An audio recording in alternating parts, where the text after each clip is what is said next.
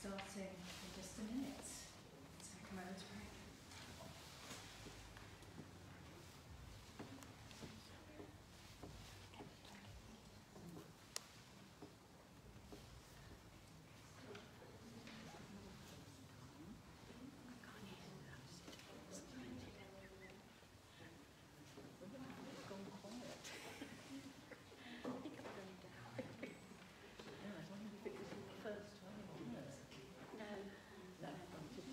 No, it's the, this one is the third time. I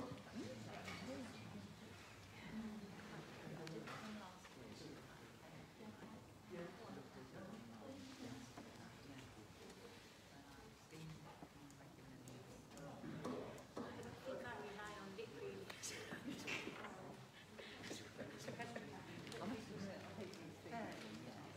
Actually, fortunately, we were warning us that our support very much get ourselves in the months because he hadn't about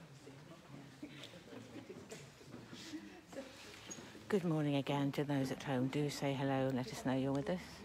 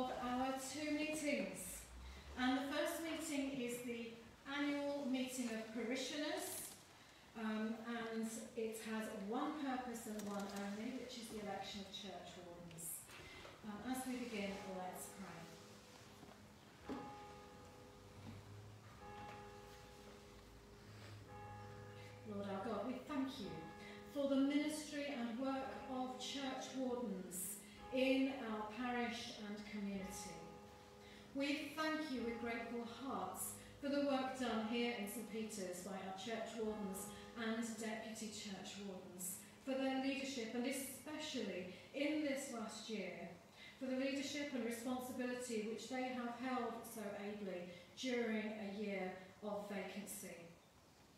We pray your blessing now on us as we select and elect our church wardens for a coming year. In Jesus' name. Amen.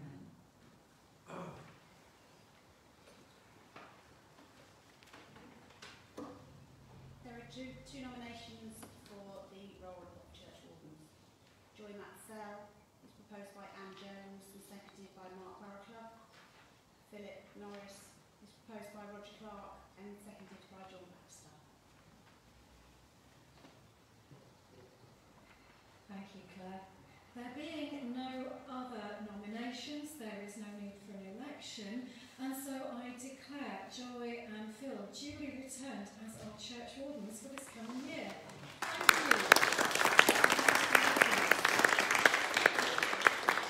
It's a great delight to me that Joy and Phil haven't taken one look at the new rector and gone, right, we're leaving. but instead have said, how can we support you? And let's continue and give you stability as we go on into another year. Watch Joy and Phil carefully. You might just be called to join the church wardens team. So um, as this next year goes on, think and pray about whether you might be called in future to join our team as one of next year's deputies. Thank you both for continuing. I hereby declare this meeting closed. And open the annual parochial church meeting of the Church of St Peter's, Weston Favell. And can I say what privilege it is to be saying those words? Let's pray. Lord our God, you called Peter away from fishing for fish to fish for people. You called Peter a rock on which you would build your church when he recognised you as the Christ, the Son of the living God.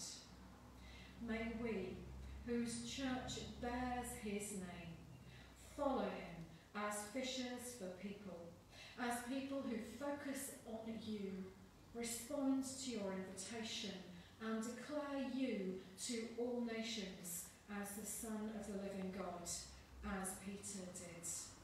And as we meet together this morning, Lord, will you bless us with your Holy Spirit as you did your church under the leadership of Peter so long ago, that we may do your will, however it might feel for us.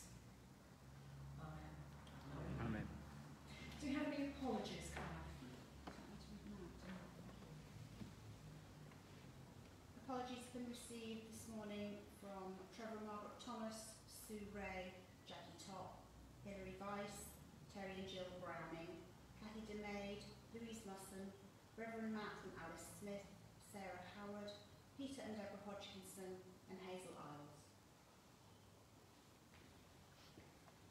Thank you. Are there any other apologies? Alex, please.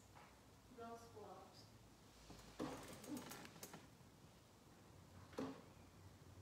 Sarah Howard. Thank you. You will have had the minutes of the meeting that was held in 2019, which was the last APCM that we were able to help. For some of you wouldn't have been there, I wasn't. Some of you will be scratching your heads thinking that was a long time ago, but nevertheless, those of you with really good memories and those of you who trust our excellent secretary, um, I'm asking whether you are willing to approve those minutes. Thank you very much. And so we come to elections. Now, elections is slightly in inverted commas because I don't think we actually need to do any voting this morning. But we're going to start. This is a year with elections to the Deanery Synod. Those of you being elected to the Deanery Synod will serve on the PCC and get away with only having to do two years instead of three because of the way COVID has affected the election cycle. Who are our nominations, Claire? Elections to Deanery Synod. Uh, we have nominations Lorraine Bewley Tipler, proposed by Jean Fazackerley and seconded by John Fazackerley. Sue Cross is proposed by Rodney Carroll and seconded by Hella Carroll. John Fazackerley has been proposed by Peter Halstead and seconded by Hilary Halstead. Peter Halstead has been proposed by Wendy Wheeler and seconded by Rosie Rushton. And Claire Pierce has been proposed by Liz Tinston and seconded by Sarah.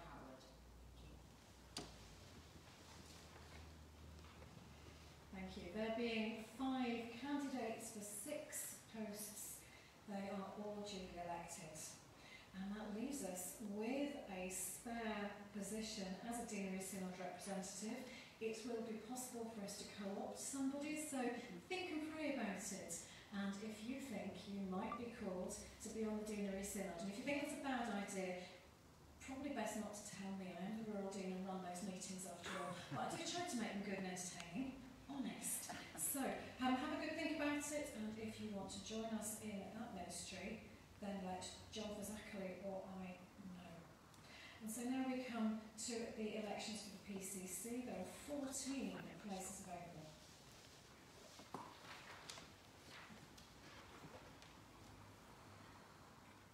Nominations are as follows. Tessa Cave, proposed by Deborah Hodgkinson and seconded by James Sterling. Brian Chapman, proposed by Richard Pestel, seconded by Katie Baxter. Emma Cooper has been proposed by Alex Pearce and seconded by Rosie Rushton. Michael Hicks has been proposed by Eileen Fox and seconded by Louise Musson.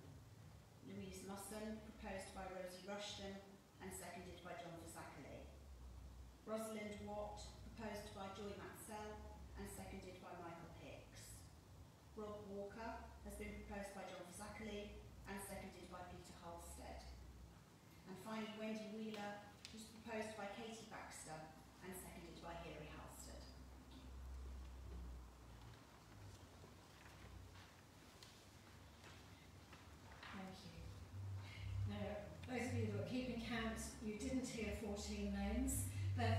need an election and we can declare all of those good people duly elected. So for all of those who have agreed to serve St Peter's as Deanery Synod members and PCC members, thank you and congratulations.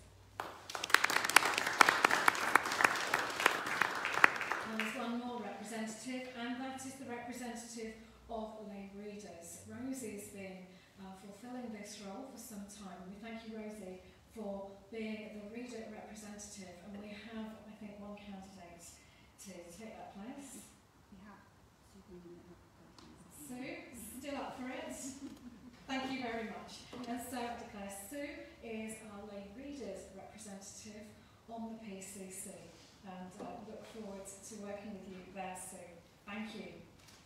Now, one thing that you will have got used to is that in this parish um, there is a partnership between the clergy and the laity, and there is a strong partnership between the clergy chair and the lay chair. On that basis, I'm going to sit down and let John take over. Thank you, John.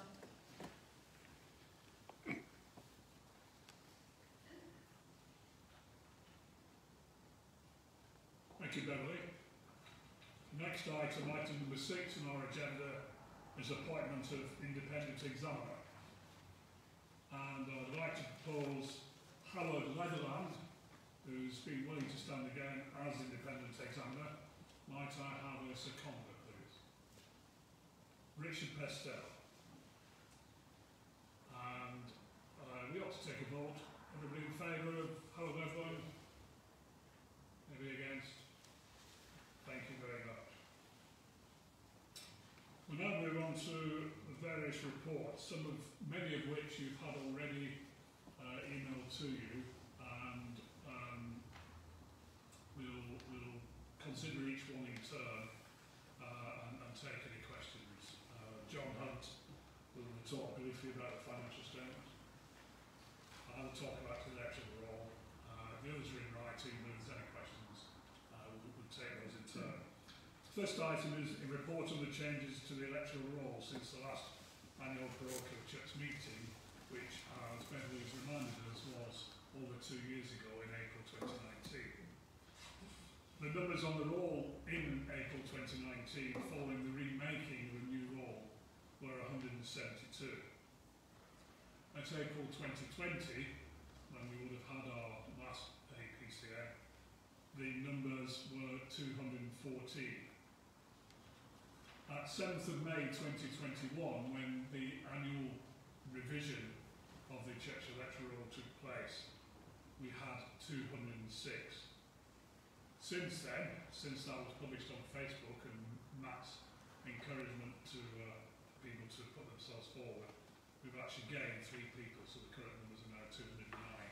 But I am told that those three who were added to the roll since uh, 6th of May not eligible to vote at this meeting. But don't worry about that. Um, so we now have 209, which is fantastic. Thank you. Um, in terms of the annual reports on the proceedings of the Church Council and the activities of the Parish General, generally, uh, for 2019 you would have had a, a pack annual report and accounts, which also had attached to it uh, various reports from uh, various organisations within the church, which were compiled at the time. Uh, they're not as complete as they um, would be normally, but we felt it was so historical, there wasn't point asking people to talk any more about that. If there's any questions on that and observations people would like to make, that would be fine now. For 2020, the um, because of COVID uh, restrictions and what we've been able to do, we we combined um, everything into the annual report and accounts. And there is a detailed report of the trustees report, which is the PCC's report, at the beginning of that. And we talk quite a bit of what we've done during the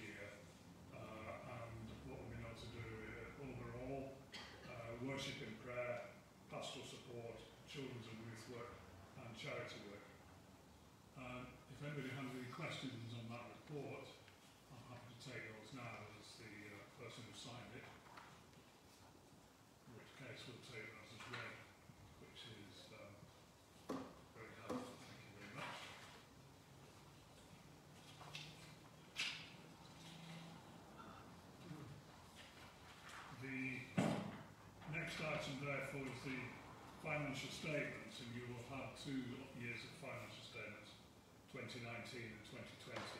I'm going to ask John to say what I'd like to do and then take any questions.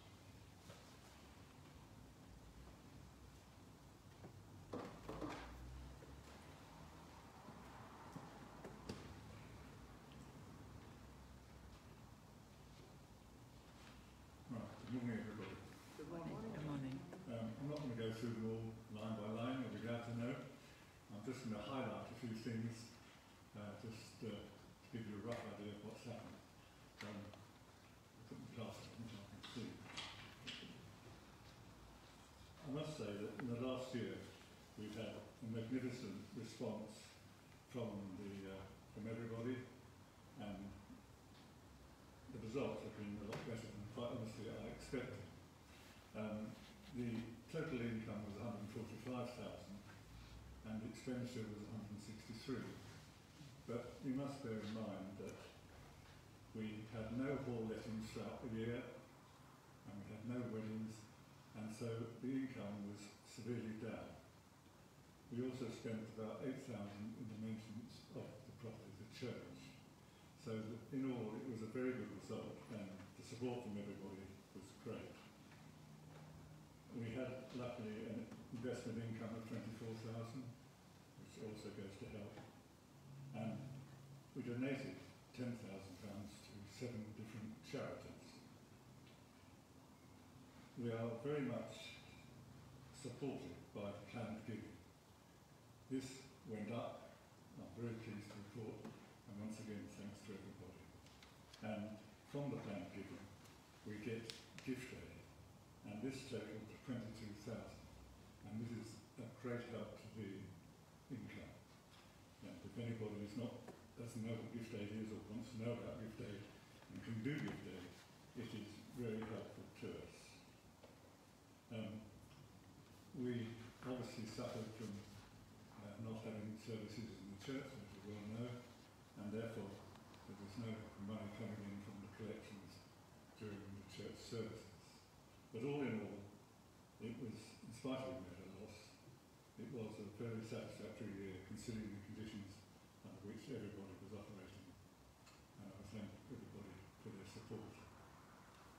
Um, if anybody wants to ask me a question, they may. If you want to ask me privately afterwards, you can do. But I don't really want to go through the whole thing for you.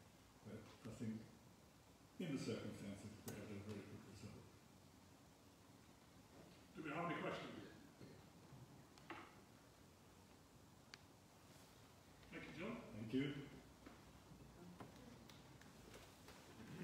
I'd like to re-emphasise one more thing, which is contained in the report, uh, on page four of the 2020 uh, tracks, just to um, explain that we are, um, we have been blessed by some significant legacies and donations in the past. So, although we've made a deficit in the year, we, our reserves stand at still uh, an amount um, that is in excess of probably what we need.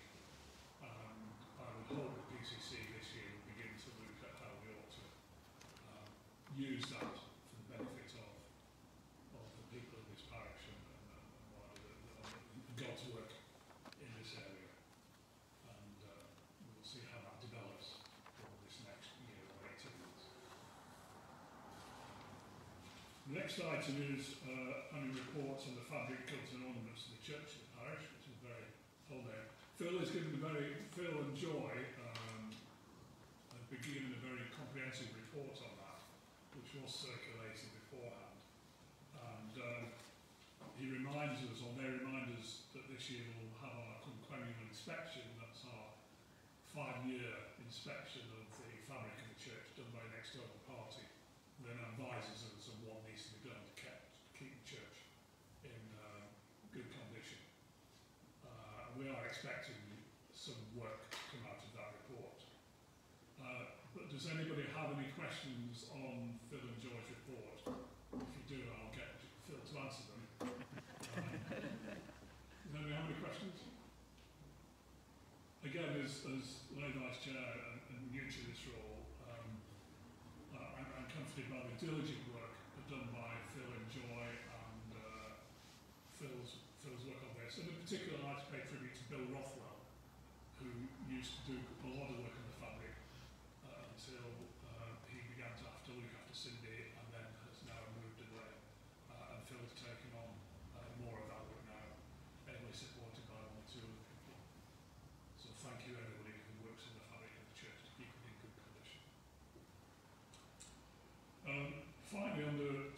7, um, we have uh, reports of the proceedings of the Deanery Synod.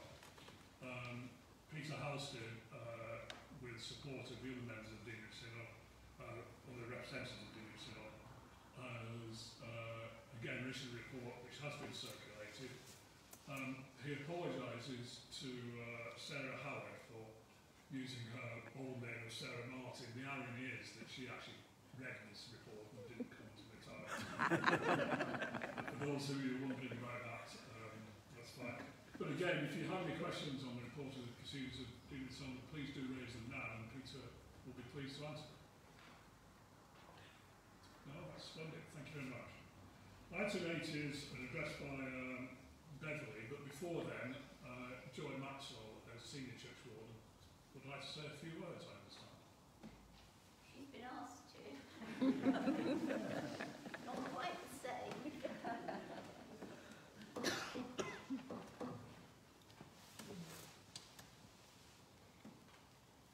Yes, so I've been asked to reflect on the past year or so and to thank those who have served the church family and parish of St Peter's. However, the issue I have with naming names is that I'm sure to offend someone by forgetting to mention them.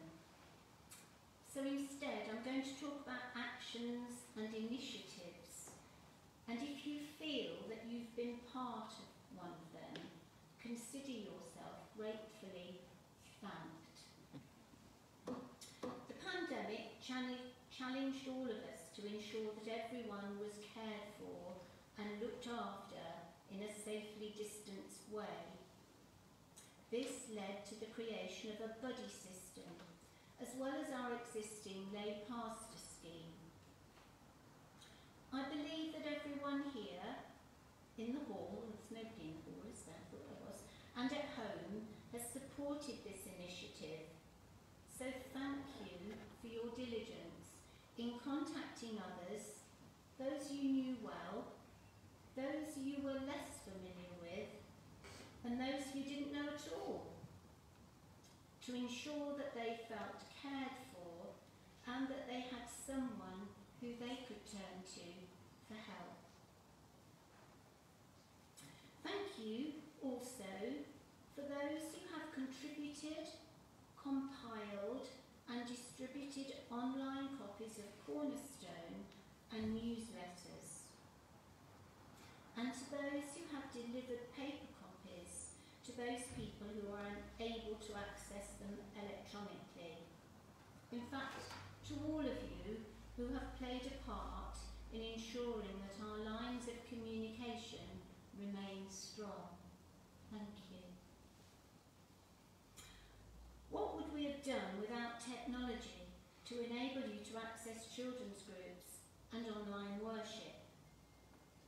We have had to become used to using Zoom or Teams and to think more creatively about how to provide experiences, activities, music and opportunities for prayer and reflection. So to all of you who have made Tiny Tots, Breakfast Club, morning and evening prayer and worship available, thank you for your faithful service. For much of the past 14 months, the church and the hall have been closed to most of us. However, necessary decorating and maintenance have taken place, and a team of dedicated folk have continued to clean the church, polish the pews, provide flowers, and care for the internal and external fabric of the church, as well as the churchyard. Thank you to you if you have been part of the work that has ensured that our church is in good order and well maintained. The recent vacancy saw our PCC form a working party compile a parish profile, the document that accompanies an advert for prospective rectors to apply for the position. From the outset, the views of as many parishioners as possible was sought. And thanks must go to those of you who responded to the questionnaire.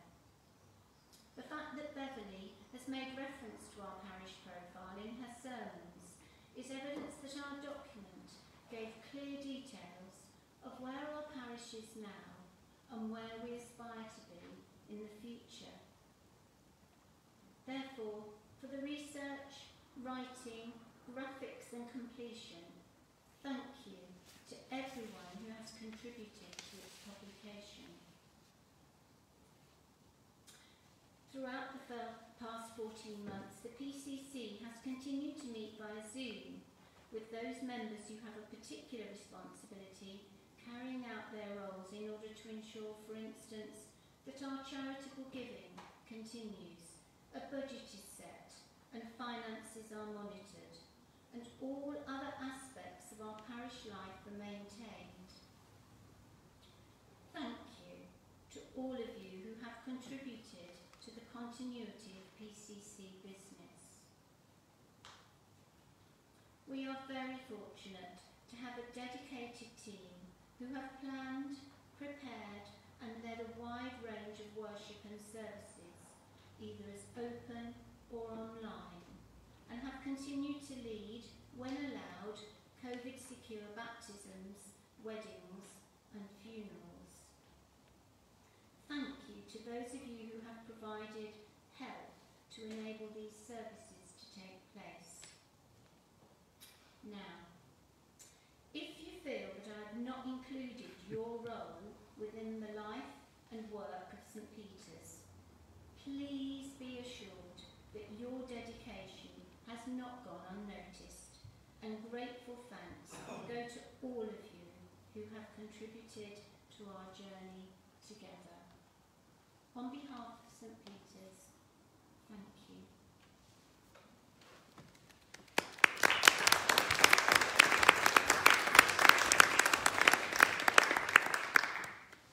Thank you, Joy. Before I hand over back to Beverly, uh, I'd just like to pay tribute to the PCC members myself as their Vice Chair since June. Uh, it's been a privilege to work with you and thank you for all your work. I would also like to thank very much our church wardens over the last two years. First of all, Keith Thomas, who retired in 2020, Joy Matzel and Phil Norris. Uh, John and Phil have particularly taken a huge burden, or borne a great burden, with great fortitude and humour over the last year, and I think the parish owes them a great debt of gratitude. So thank you.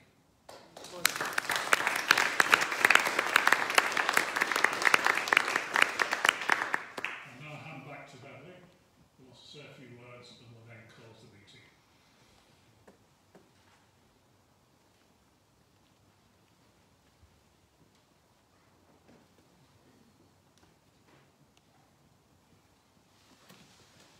Thank you, John. As some of you know, the, during a vacancy, the leadership and responsibilities in the church fall to church wardens, supported by the rural dean. In the case of St Peter's vacancy, it was an assistant rural dean uh, who was trying to cover up the fact that the rural dean was looking at the job.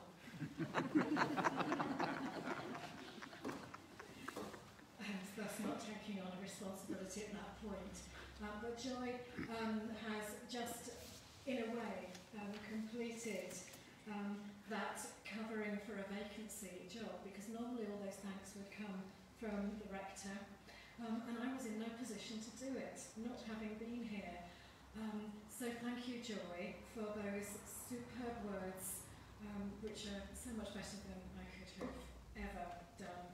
Um, I'll be borrowing your model for the future. Um, and thank you for completing that, that final task um, of the vacancy, in a sense, because I can't say much about the past. So, what I'm going to do today is talk about the future. And I'm doing that with a little wariness, because you know how it is. Tell God your plans, and He'll laugh and ensure that something completely different happens. so please don't hold me to the details. Because if the Holy Spirit has got other ideas, we'll all be going with the Holy Spirit, won't we? Every time. Joy mentioned to you the questionnaire that went out during the vacancy, which the PCC looked at very carefully in order to articulate a vision for St Peter's, which was to become the foundation for any work done by a new rector in leading the St Peter's team and the church forward. I want to remind you of what that vision says and of the starting point, the verse which um, I spoke about at my licensing and welcome service. Come, said Jesus. Then Peter got out of the boat, walked on the water, and came towards him. So, this is the vision that you have written. Our vision for the next few years is that our church integrates our young children and families more fully into our church life by encouraging participation from all ages in leading worship and by facilitating multi generational fellowship. Encourages all into deeper discipleship and spiritual growth. Is generous in stewardship of money, time, and talents enabling opportunities for all to contribute to their God given gifts. Provides greater opportunity for study at every level, from new and growing Christians to those yearning for more in depth teaching of Scripture, and becomes more outward looking and involved in the deanery and the diocese and the wider church. So, we have a vision to build a multi-generational and diverse church, bringing people of all ages together in worship, prayer, service and discipleship, learning more together about God and applying that discipleship to the way that we use our time, our abilities and our money, not just for our own sake, but for the sake of all the people who live in our parish and for the sake of many others in the deanery, the diocese, and more widely. But what does that mean in practice? Let's get the scary word out of the way first, shall we? And you'll have spotted that Rosie trailed this scary word for me in her excellent sermon this morning. Here it comes. Change. yes, if we take seriously our call to do God's work, we must be prepared to change and to keep on changing. That's how the Holy Spirit works. Things will change. But not everything, not all at once, and not for the sake of it. Where we have to change things, it will be in order to fulfill our mission where the way we currently do things isn't doing the job. And lots of things will not change. If you attend Wednesday morning communion, for example, you're not likely to notice any change at all because there's no reason to change anything.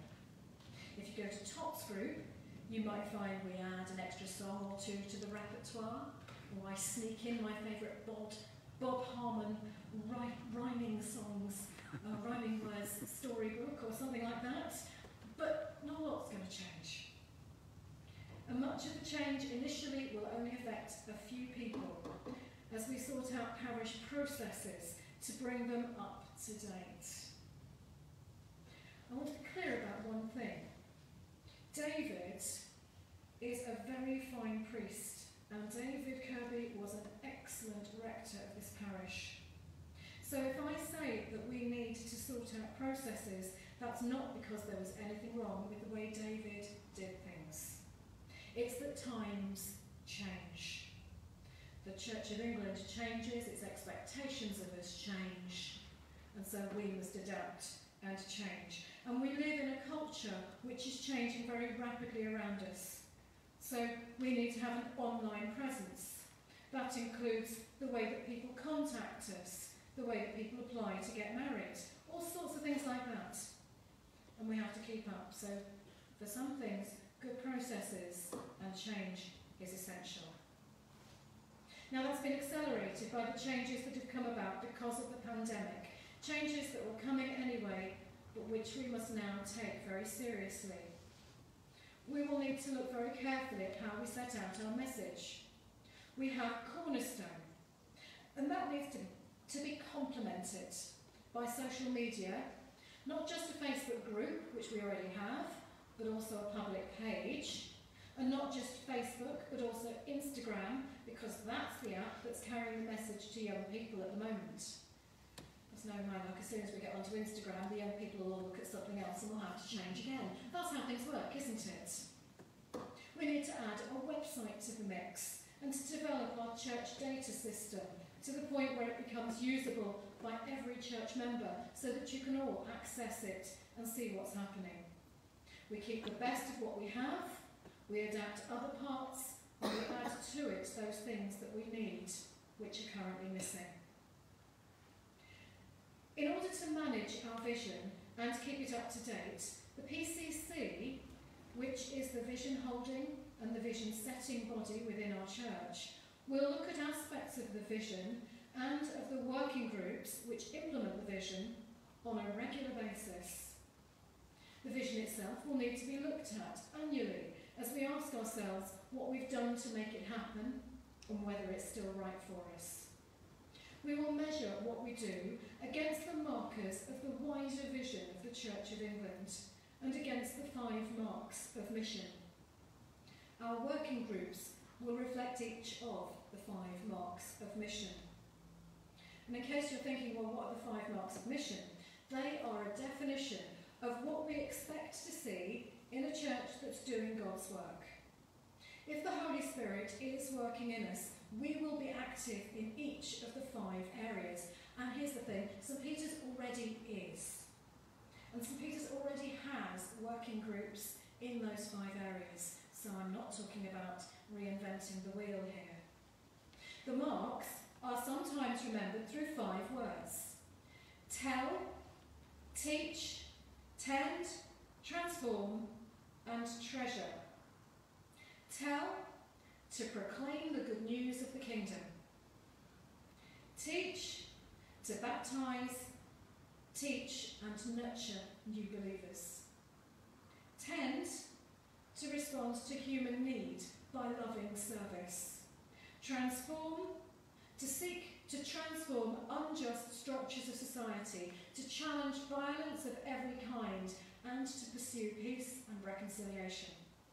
And treasure, to safeguard, to strive to safeguard the integrity of creation and sustain and renew the life of the earth.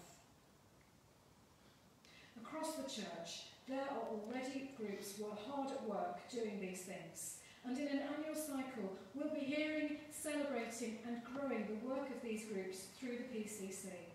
For example, the pastoral care team is the third mark of mission, the TEND group. The Charities and Enterprise is group, that's, that's the fourth mark of mission. And there are all sorts of subgroups looking at preaching, worship leadership, discipleship, and schools and children's work, rolling out of the work of the ministry team, which will be meeting the first and second marks. In some areas of our vision and of the five marks, we have ideas about doing new things, and those ideas are based on how you, in the parish profile, said you wanted the vision to be implemented. Key examples then are firstly looking hard at our pattern of services on Sundays to ensure that we serve those who enjoy traditional worship, but also offer worship that attracts younger people. That might include starting new things, an afternoon service perhaps, so that people whose children go to clubs and classes on Sunday mornings, or indeed park runs, um, as, as was the case with the family that I bumped into on my way to this service today. Um, they can come to church later on. They can do the park run, or the swimming class, or the rugby club, and come to church. And we need to look at how our morning services can meet the needs of younger working people effectively, as well as the needs of those who are retired. With care, we can ensure that we offer ways of worship that are appealing to everyone. Secondly, in order to fulfill our aim of growing in discipleship and studying God's Word in more depth, we will be working towards having a network of life groups with well supported leaders. Life groups will include groups that meet in people's homes to study and pray together in the evenings and in the daytime. And they will also include other ways of meeting and sharing, and I look forward to hearing your ideas and hopes. Tea Club and Memory Club, TOPS, and some of our children's work may come under the Life Groups banner. There might be groups which pray and learn about God's Word while walking dogs, or which prayer walk around the area. There might be baking or craft based life groups, praying and sharing God's Word while making banners for church or other good things for people. It's not all going to be about sitting around, although some of it.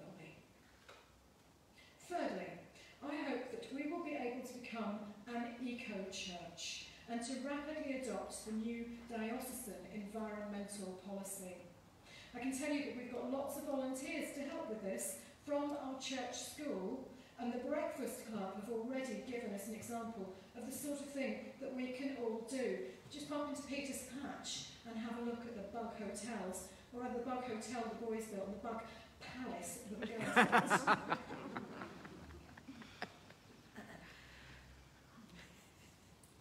But we also need to tackle the big challenge that was set for us by the Church of England, which is making our buildings carbon neutral by 2030. That's nine years to make this building and the parish hall carbon neutral. It'll take until 2030 to work out how to do it and put our plans into action, especially since some of them might require major fundraising. So that's not something we can put off until later. We need to start thinking about it now.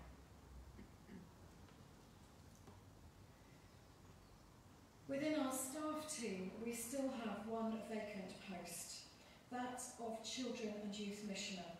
I haven't forgotten about that, or about the huge amount of good work done by Sue Kirby, the last post holder. Indeed, parishes from across the deanery benefited from learning from Sue and from the team here at St Peter's, and the fact that schools work is one of the named mission priorities The Greater Northampton Deanery has a lot to do with the example and influence of Sue and of St Peter's right across the area. But the job for the next post holder will not be the same as it was for Sue. And we'll want to look carefully at our mission plans and at our hopes for our work with children and youth before we write a new job description. We will need to make sure we get it right. We'll be looking at this whole area of work in partnership with neighbouring parishes and churches. So don't worry if there aren't announcements or job adverts for the post in the near future. It's very much on the agenda, but we have to make sure that we get it right.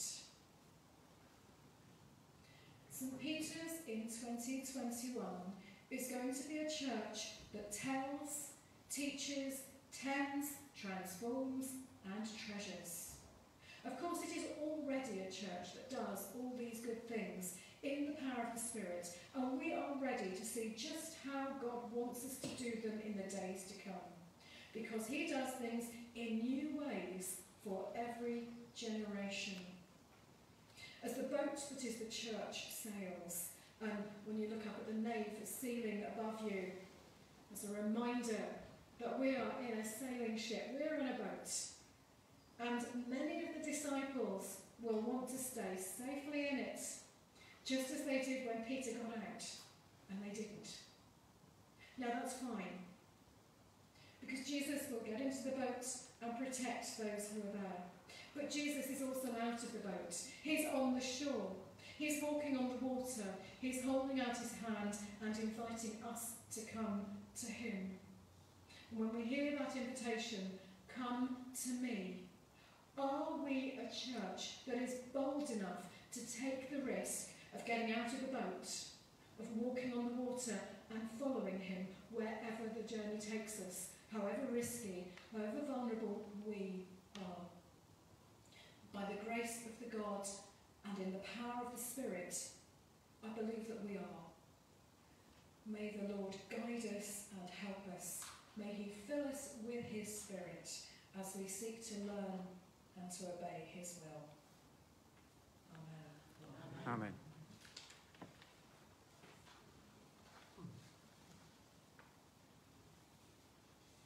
So now we're nearly at the end of our meeting. Are there any other matters?